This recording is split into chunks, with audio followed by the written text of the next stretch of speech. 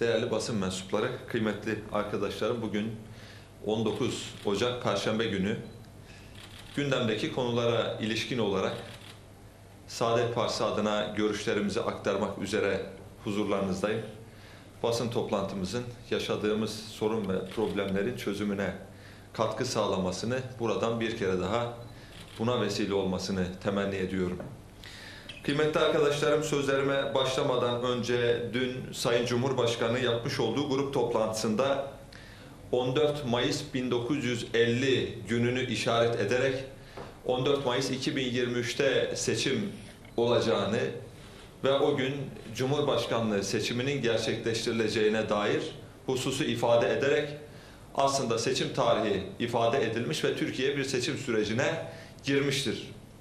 İnanıyorum ki 14 Mayıs 2023 günü ülkemizin aydınlık yarınlarına kavuşabildiği, insanımızın geleceğe huzurla, umutla bakabildiği bir Türkiye'nin inşa edilmesine vesile olacaktır. Bu duygu ve düşüncelerle 14 Mayıs'la ilgili kanaatlerimi ifade ettikten sonra Sayın Cumhurbaşkanımızın 14 Mayıs'ı gündeme getirirken şu hususunu da hakikaten büyük bir ibretle takip ettiğimde ifade etmek isterim. Sayın Cumhurbaşkanımız dediler ki 73 yıl sonra tıpkı 14 Mayıs 1950 günü yeter artık söz milletindir şeklinde milletimiz nasıl bir tavır ortaya koyduysa tam 73 73 yıl sonra aynı tepkiyi ve aynı tavrı ortaya koyacaktır demişti. 14 Mayıs 1950 günü iktidarın değiştiği yani tek parti döneminden ülkenin devralındığı bir seçim olarak tarihe geçmişti. Ama maalesef bu yaklaşımı Türkiye'de 20 yıldır iktidarda olan bir partinin milletin yeter artık diyeceğini ifade etmesi aslında malumun ilanından başka bir anlam ifade etmemektedir. 20 yıldır milletimiz her türlü hakkı, her türlü imkanı mevcut iktidara vermiştir. Tek başına 20 yıl ülkeyi yönetme hakkını milletimiz bu iktidara vermiştir. Ancak gelinen noktada ekonomide, hukukta, her alanda yaşanan bütün bu sorunlardan sonra eğer hükümet 14 Mayıs gününü milletimizin yeter artık diyeceğini ifade ediyorsa bu aslında hükümetin 14 Mayıs günü milletin kendilerine yeter artık diyeceğini açık bir şekilde kabul etmek ve malumun ilanından başka bir anlamı taşımamaktadır. Elbette ki biz de Saadet Partisi olarak yeter artık diyeceğiz. Sayın Cumhurbaşkanımızın ifade ettiği gibi bizler de 14 Mayıs 2023 günü hep birlikte bütün bir millet olarak yeter artık diyeceğiz. Peki kime yeter artık diyeceğiz? Orta Doğu'nun işgaline ortak olmak suretiyle Irak'ın ve Suriye'nin işgaline ortak olanlara özellikle Arap Baharı safsatasıyla Kuzey Afrika'nın işgaline ortak olanlara ırkçı emperyalizmin jandarmalığına soyunanlara yeter artık diyeceğiz. Bir gün Amerika ile diğer gün Rusya ile yaptıkları işbirliği neticesinde onlardan almış oldukları talimatlarla dış politika eksenini belirleyen mevcut iktidara yeter artık diyeceğiz. Ülkemizde haklının güçlü olarak kabul edildiği değil, 20 yıllık düzen neticesinde güçlünün haklı olarak tesis edildiği bu düzene yeter artık diyeceğiz. Adaleti ayaklar altına alanlara, hukuku rafa kaldıranlara, adaleti kişilere göre eğip bükenlere yeter artık diyeceğiz. Sermaye sahiplerinin ve bankaların kazanması için insanımızın alın terinin ve emeğinin sömürülmesine razı olan ve bu düzeni 20 yıldır tatbik edenlere yeter artık diyeceğiz. Milletimizi, insanımızı açlığa ve sefalete mahkum edenlere ve bu zihniyete yeter artık diyeceğiz. Gençleri umutsuzluğa, gençleri ümitsizliğe, karamsarlığa ve işsizliğe mahkum edenlere yeter artık diyeceğiz. Yandaş müteahhitlere kaynakları cömertçe teslim ederken asgari ücret ve memur maaş zamları gündeme geldiğinde fakir fukaraya vermek bereket getirir diyen bu anlayışa millete yapmış oldukları maaş zamını adeta sadaka niyetiyle icra edenlere yeter artık diyeceğiz. Ve 14 Mayıs günü topyekün olarak bütün milletimizle omuz omuza, yürek yüreğe ve hep birlikte yeniden yeter artık diyeceğiz. İnanıyorum ki 14 Mayıs günü milletimizin ortaya koymuş olduğu bu tavırla birlikte insanımızın ve ülkemizin yaşadığı sorun ve problemlerin artık yerini çözüme, umuda bıraktığı bir dönemi hep birlikte yaşayacağız. Bundan yana da insanımızın en ufak bir endişesi ve en ufak bir kuşkusu dahi olmasın. Seçim dönemi içerisinde bir takım korku ikliminin oluşturulmasına da bizler asla müsaade etmeyeceğiz. Kimsenin en ufak bir endişeye, en ufak bir umutsuzluğa ve karamsarlığa düşmesine asla ama asla müsaade etmeyeceğiz. Herkes emin olsun. Herkes şundan emin olsun ki seçim güvenliğini de sağlayacağız. Milletimizin vermiş olduğu her bir oyun bekçiliğini sandıklarda adeta muhafaza, muhafaza etmek suretiyle milletimizin verdiği her bir oya sahip çıkmak suretiyle insanımızın iradesinin gerçek anlamda tecelli etmesine de mutlaka temin edecek çalışmaları gerçekleştirmiş olacağız. Bu anlamda ne seçim güvenliğiyle ilgili insanımızın endişe etmesine ne de özellikle seçim sürecine giderken ülkemizin bir takım gerginlikler üzerinden milletimizi sandıktan uzak tutma süreciyle ilgili yürütülen propagandalara da milletimiz asla ama asla mahal vermeyecektir ve ülkemiz son derece rahat, son derece güvenilir bir seçime girecek ve bu çerçevede de bize ve muhalefet partilerine de düşen mesuliyeti bizler de inanıyorum ki en güçlü şekilde yerine getirmenin gayreti içerisinde olacağız diye ifade ediyorum. Kıymetli arkadaşlarım, özellikle son dönemde EYT meselesi gündeme gelirken, 3600 ek gösterge meselesi gündeme gelirken, göz ardı edilen bir kurumumuzun personellerinin yaşamış olduğu sorun ve problemlere dair buradan bu vesileyle dikkatinizi bir konuya çekmek istiyorum. Sosyal Güvenlik Kurumu ülkemizin tümüne hizmet eden büyük bir kamu kurumu olarak yoğun bir iş yüküne sahip olup iş ve işlemlerini yaklaşık 33 bin personel ile taşra ve merkez teşkilatı olarak sürdüren Türkiye'mizin önemli bir kurum ve kuruluşudur. Son dönemde gündemde olan 3600 ek gösterge ve EYT gibi düzenlemelerle kurumda çok daha yoğun bir çalışma icra edilecek ve bu çalışmaları yaparken personellerimiz normal mesai saatlerinin dışında daha büyük bir fedakarlıkta çalışmak durumda kalacaktır.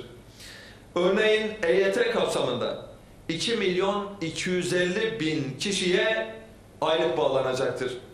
Kurumun aylık bağlama kapasitesinin yılda 400 bin civarı olması nedeniyle eğer bir tedbir alınmazsa tamamının bitmesi yaklaşık 4-5 yılı sürecek bir zaman dilimini kapsayacaktır. Bunca iş yüküne karşın SGK çalışanları tüm kamu çalışanlarıyla aynı veya daha düşük bir maaşa mahkum edilmektedir. Bu noktada kurum çalışanlarının özel hizmet tazminatı oranlarının 100 puan arttırılmasına yönelik sosyal güvenlik hizmetleri tazminatının tahsisi yönünde çok ciddi bir beklentisi olduğunu buradan ifade etmek isterim. Talebin kabulü halinde çalışanların görev aylıklarında 2023 Ocak kat sayısına göre yaklaşık 4000 TL civarında bir artış gerçekleştirilecek olup yapılacak bu artışla personel motivasyonu ve çalışma barışı da tesis edilecektir. Bununla birlikte yeni dönemde kurumda artacak iş yüküne karşı mutlaka yeni önlemler alınmak mecburiyetindedir. Çalışanlar olumsuz çalışma koşulları ve ağır iş yüküyle baş başa bırakılmamalıdır. Kıymetli arkadaşlarım bir diğer önemli konuda sözleşmeli personel istihdamı kamuda özellikle özlük hakları konusunda ciddi mağduriyetlere sebep oluyordu. Bu mağduriyetlerden bir diğeri de hiç şüphesiz aile birliğinin tesis edilememesiydi. Hiç şüphe yok ki sözleşmeli personellerimizin birçok sorunları ve problemleri varken şu anda sözleşmeli personelin kadroya geçirilmesiyle ilgili bir takım düzenlemelerle ilgili ciddi bir gündem var. Ama bu sorunların en önemlilerinden bir tanesi de sözleşmeli personelin aile birliğini sağlayamamak problemidir. Farklı görevlerde, farklı illerde görev yapan evli kamu personeli ne yazık ki kendi eşi ya da ailesiyle aynı ilde çalışamamaktadır. Meclise getirilen sözleşmeli personelin kadroya geçirilmesi ile ilgili kanun teklifiyle bu mağduriyetin acilen ortadan kaldırılması gerekirdi. Ama görüyoruz ki bu mağduriyet ne yazık ki bu beklentiyi karşılayamamış, bu düzenleme bu mağduriyeti giderememiştir. Aile birliği esastır. Anayasanın 41. maddesi bu birliği yani aile birliğini güvence altına almakta ve devlete bu birliği sağlaması açısından ciddi bir görev ve sorumluluk düşmektedir. 3 artı 1 yıl görev zorunluluğu gibi çeşitli kısıtlar getirilerek bunun önüne geçilmesi asla ama asla kabul edilebilir değildir. Birçok kamu kurumunda bu mağduriyetten muzdarip kamu personellerimiz bulunmaktadır. Özellikle öğretmenler olmak üzere 30 bine yakın, altını çizerek söylüyorum, 30 bine yakın kamu personeli bu durumdan olumsuz etkilenecektir. Yani 30 bin aile demek oluyor ki bu anne, baba ve çocuktan bahsediyoruz. Bu bağlamda genel kurula gelen bu teklifte ilgili düzenleme mutlaka yapılarak yeni mağduriyetlerin önüne geçmek zorundayız. Bununla birlikte şunu da kısaca ifade etmek gerekir ki 2014 yılında 117 bin seviyelerine kadar düşen sözleşmeli personel sayısı 2022'de 568 bin seviyelerine çıkmıştır. İktidar bir seçim dönemi sözleşmeli personel istihdamında bulunuyor. Diğer seçim dönemi kadro vaat ediyor. Bu maalesef ki sorumlu devlet anlayışına da uymayan bir durumdur. Yani siz bir seçim döneminde sözleşmeli personel alımı yapacağınıza dair bir takım vaatlerde bulunuyorsunuz. Diğer seçim geliyor bu defa sözleşmelerin kadroya geçirilmesiyle ilgili bir takım vaatlerde bulunuyorsunuz. Ama bu durum ülkede sorunu çözmek değil, maalesef günü bir takım siyasi manevralarla kurtarmaya dönük adımlar olmanın ötesine maalesef geçmemektedir. Bu da her şeyden öte biraz önce ifade ettiğimiz gibi sorumlu devlet anlayışına uymadığı gibi ahlaki bir durumda hiç şüphesiz değildir. Önce büyük bir sorunun kaynağı olan iktidar seçim öncesi kadro dağıtarak adeta sorunu çözmüş gibi davranmaktadır. Evet sözleşmeli personelin kadroya geçirilmesi yaşanan kayıpların telafisi açısından son derece önemlidir. Ancak her düzenlemenin yeni bir mağduriyet doğurmasına sebep olunmamalı. Memur ya işi seç ya aileni seç tercihi zorunda bırakılmamalıdır. Kıymetli arkadaşlarım, diğer önemli bir konumuzda özellikle Aile ve Sosyal Hizmetler Bakanlığı'nda ek ders ücreti karşılığında bakan onayı ile çalışan personeller yılın 12 ayı tam zamanlı olarak görev yapmaktadır.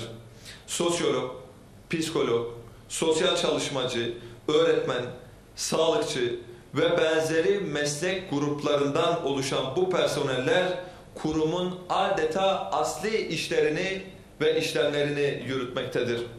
Ek ders ücreti karşılığında 17 yıldır çalışan personel mevcutken bu personelin hiçbir özlük hakkı, bakınız bu personelin hiçbir özlük hakkı yani yıllık izin, süt izni, babalık izni ve benzeri hiçbir hakkı bulunmamaktadır. Üstelik kadrolu mesai arkadaşlarıyla aynı işleri yapmalarına rağmen maaşları çok daha düşük seviyelerde kalmaktadır. Aile ve Sosyal Hizmetler Bakanlığı'nda ek ders ücreti karşılığında belirli bir süre çalışıp bilgi ve tecrübe sahibi olan yaklaşık 3000 personelin sözleşmeliye kadro çalışmasına ivedilikle dahil edilmesi gerekir. Özellikle bu hususlar insanımızın ve milletimizin bu dönemde kadro çalışmaları, sözleşmeli personelin kadroya geçirilmesi meselesi gündemdeyken bu insanlarımızın bu beklentilerine karşılık verilmeli ve özellikle bu kısımda çalışan personellerimiz de mutlaka kadro kapsamına dahil edilmelidir. Değerli basın mensuplarımız son olarak da şunları ifade etmek isterim ki biz Saadet Partisi olarak gerek burada gerek çeşitli platformlarda tarım ve hayvancılığın milli bir mesele olduğunu, bir milli güvenlik meselesi olduğunu defaatle ifade ettik ve bunları ifade etmeye devam ediyoruz. Köylüyü, çiftçiyi desteklemek, köylünün yanında olmak, besicinin yanında olmak bu açıdan son derece hayati ve son derece önemli bir konudur. Ancak son yıllarda köylümüz, çiftçimiz ciddi sıkıntılarla karşı karşıya bırakılmıştır. Destekler zamanında ve yeterli miktarda destek sağlanamamış. Dolayısıyla üreticimiz toprağını, köylümüz toprağını terk etmek zorunda bırakılmıştır. Bakın son 10 yılda 500 bin çiftçimiz olumsuz koşullar sebebiyle üretimi bırakmış ve de köyünü terk etmek zorunda kalmıştır. 500 bin insanımız yani 10 yıl önce 1 milyonun üzerinde olan çiftçi sayımız bugün 500 binin neredeyse altına düşmüştür. Gelinen noktada gıdada ve hayvansal ürünlerdeki pahalılığa hep birlikte pazarda, markette, sokakta hep beraber şahit oluyoruz. Üretimin azalmasının, insanımızın köyünü terk etmesinin ve yanlış tarım politikalarıyla birlikte dışarıya maalesef bağımlı hale getirilmemizin bedelini 84 milyon insanımız olarak hep birlikte ama hep birlikte ödüyoruz. Bakın bunun sadece bir örneğinden bahsedecek olursak geçtiğimiz yıl bu zamanlar markette 1 litre sütün fiyatı 6 küsür lira seviyesindeyken bugün markette 1 litre sütün fiyatı 30 lira seviyelerine çıkmıştır. Bunun bedelini hep birlikte ödüyoruz ve bu anlayış ve zihniyet değişmediği müddetçe bunun bedelini ödemeye de hep beraber devam edeceğiz. Tarım ve hayvancılıktan bahsederken burada köylüyü canından bezdiren sadece bir örneği sizlerle paylaşmak istiyorum. Kıymetli arkadaşlarım Bursa Karacabey'e bağlı Hürriyet Köyü sakinleri belediye tarafından tapulu 6 bin dönüm arazilerinin parsellenerek satılmasına karşı uzun zamandır seslerini duyurmaya çalışıyorlar. En son geçtiğimiz günlerde Sayın Cumhurbaşkanımızın Bursa'daki bir program esnasında bu köylüler Sayın Erdoğan'a dertlerini anlatmışlardı. Bu kamuoyuna da yansımıştı. Ancak Sayın Erdoğan'a anlatılan bu hususlarla ilgili de bir düzenlemenin henüz yapılmadığını, köylülerin dertlerini gündeme getirmek için canhıraç bir mücadele ortaya koyduğunu da hep beraber görüyoruz. 1951 yılında Bulgaristan'dan göç eden 201 kişi Karacabey'e yerleşerek burada borç karşılığı 12 bin dönümlük çiftlik satın alıyor. Aldıkları bu çiftliği 28,5 dönümlük şahsi tarlalar olarak bölüştüren köylüler 6 bin dönüm araziyi ise otlakiye alanı olarak bırakıp borç olarak aldıkları çiftliğin ücretini yıllar boyu çalışarak ödemek durumunda kaldılar. Çiftlik 1978 yılında köy statüsüne geçti. Köylünün otlakiye olarak ayırdığı tapulu 6 bin dönüm alan ise hazine yeri olarak köy tüzel kişiliğine tapulama yapıldı. Büyükşehir yasasıyla birlikte köylünün 6 bin dönüm arazisi ilçe belediyesine kaldı. 650 dönümü satılan arazilerinin 150 dönümünün daha ihale yoluyla satışa çıkarılmasına tepki gösteren köylülerimiz arazilerinin kendilerine geri verilmesi yönündeki taleplerini bir kere daha yineliyorlar. Bu arazilerin tapuları var. Ayrıca alındığı dönemde Ziraat Bankası'ndan çekilen kredilerin deko- dekontları mevcut. Ancak 201 hanenin şahsi mülkü şahsi mülkü belediye tarafından satılmak isteniyor. Bu yanlıştan bir an önce geri dönülmelidir. Köylünün arazisi o arazinin gerçek sahipleri olan köylülerimize tahsis edilmelidir. Bu konuda köy sakinleri adına bu mağduriyeti dile getiren Hürriyet Köyü Dayanışma Derneği Denetim Başkanı Bayram Efe ve Hürriyet Köyü sakinlerinin destekçisi olduğumuzu ve konunun sonuna kadar takipçisi olacağımızı da bu vesileyle, bu basın toplantımız vesilesiyle sizlerin huzurunda da ifade etmek istiyorum. Ben sözlerimi burada toparlıyorum. Hepinize ayrıca teşekkür ediyorum. İyi çalışmalar diliyorum.